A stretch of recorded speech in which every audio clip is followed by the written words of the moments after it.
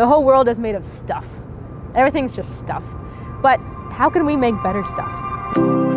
My name is Ashley Kaiser, and I recently defended my PhD in the Department of Material Science and Engineering here at MIT. Uh, we were always striving to do better and better and better with the materials that we have at our disposal.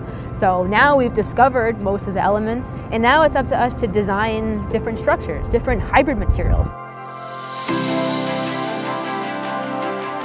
Gymnastics has actually really been a cornerstone for my life. It really highlights the importance of collaboration, team building, grit and stamina. All of these factors that are, definitely present here in graduate school.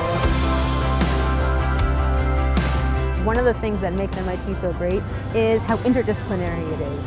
There's such a broad range of equipment, staff, expertise, age and experience. I work in necstlab, which is run by Professor Brian Wardle in the Department of Aeronautics and Astronautics. We're interested to look at the next generation of advanced composite materials that can leverage nanomaterials in their structure to give enhancements in strength, stiffness, lightweight, and different multifunctional properties. So it's a very interesting blend of material science applications towards aerospace looking to go to Mars and beyond to have new space vehicles or space habitats, you would need materials that are stronger, lighter, tougher, stiffer than the current state of the art, right? So how do we get there? One type of nanotube that I looked at for my master's and PhD is called a carbon nanotube. These are just tiny, tiny tubes of just carbon that are about 10,000 times thinner than a human hair, but about 100 times stronger than steel. Our group actually collaborated with one of NASA's Space Technology Research Institutes, and we're looking at would it be possible to create uh, next-gen composites that can leverage these carbon nanotubes and polymers that could beat the current state of the art.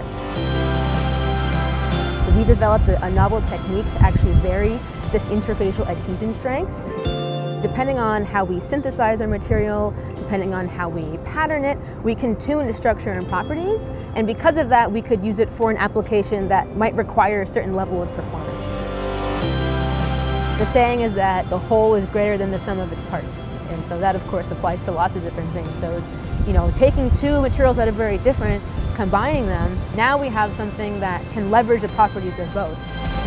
One of the things that has always struck me is the self-similarity between almost everything. When you stand on the edge of the Grand Canyon and you see this giant canvas, and if you sometimes look at a nanomaterial, it oftentimes can look really similar. You know, sometimes I think all we really need is a new perspective between the nanoscale or atomic scale towards much larger length scales, such as this chair or a spaceship or even the galaxy.